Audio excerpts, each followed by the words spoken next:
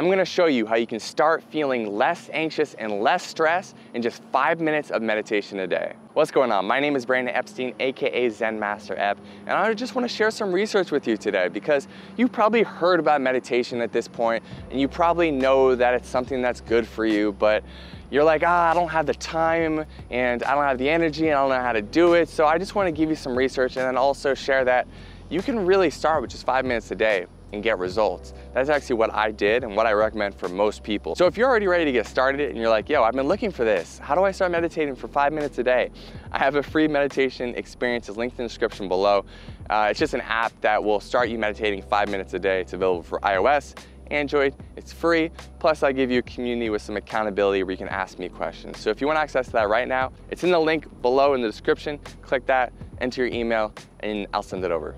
So let's talk about some peer-reviewed studies, some legit studies that talk about the benefits of meditation in just five minutes a day. The first one I want to talk about is the effects of five-minute mindfulness meditation on mental health care professionals. In just five minutes a day, over seven days, they found that these people were experiencing less stress, less anxiety, and less reactivity. And so this isn't something they were doing for months. It's not something they were doing for an hour a day. It was five minutes a day for seven days to start to experience these results. And the biggest thing that they found was it gave people back their power. So the people in the study were mental health care professionals. Obviously a very stressful job and probably has a lot of pressure on them every single day. And so these people found that they felt like they had more power when they're meditating, even five minutes a day, as in they didn't feel like they had to react or that the next thing that was happening was complete chaos and they didn't have control. No, they felt more present, grounded, and ready to take on whatever it was right in front of them next. So whether you're a parent, whether you own a business, whether you're an employee with a, what feels like a high stress job, whatever it is, this is something we could all benefit from. The next study shows how brief mindfulness meditation training alters psychological and neuroendocrine responses to social evaluative stress. So these people were actually meditating a little bit longer. I wanna, I wanna shoot you straight here. These people are meditating for 25 minutes a day. Now, yes, it's more than five minutes, but we already established you can get results from five minutes. So what happens when you stretch that out to even 25 minutes? Well, they found that people had a significantly decreased amount of cortisol response. Now, cortisol, you may have heard of, is the stress hormone. So the more of that's released consistently, the more stress and overwhelm we're gonna feel. And so these people had significantly less cortisol, which meant they felt more present and more peaceful here in the present moment.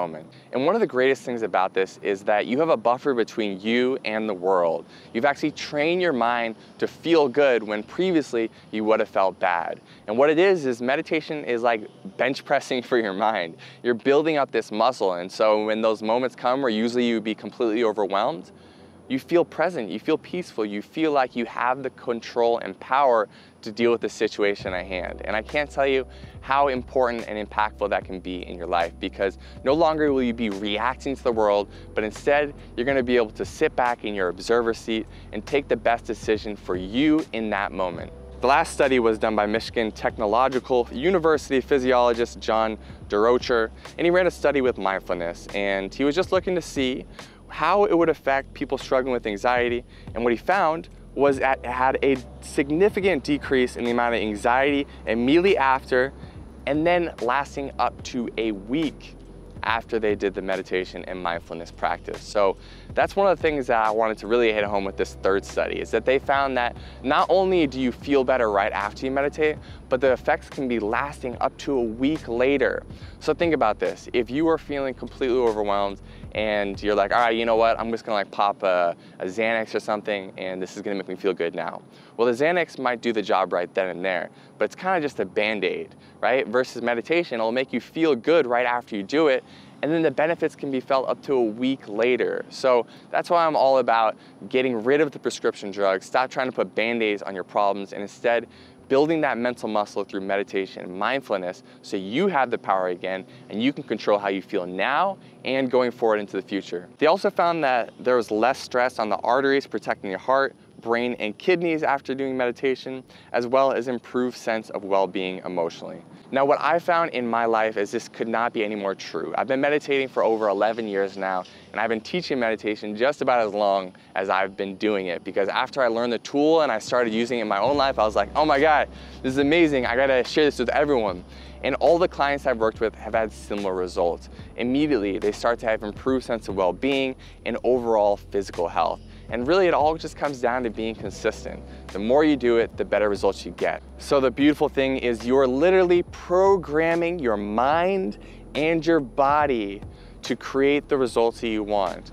Better health, better biology, and better results in your physical world because the more poised and the more you're sitting in the state of equanimity, the better you're gonna be at making decisions to make your life better. So if this was an impactful video for you, I highly recommend getting started with me. Just five minutes a day. Again, you can join that meditation experience. It's just linked down in the description below. So go check that out uh, get that app, start meditating with me, post in the community, let me know how it goes. I'll be there to support you every step of the way. Thank you so much for watching this video today. Again, my name is Brandon Epstein, AKA Zen Master Ep.